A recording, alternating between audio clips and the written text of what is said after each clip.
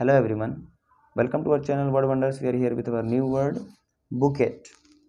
मतलब फूलों का गुच्छा that is bunch of flowers for example he presented a bouquet to his ailing mother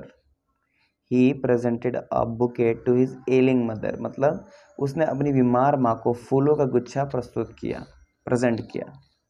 उसने अपनी बीमार माँ को फूले का गुच्छा प्रेजेंट किया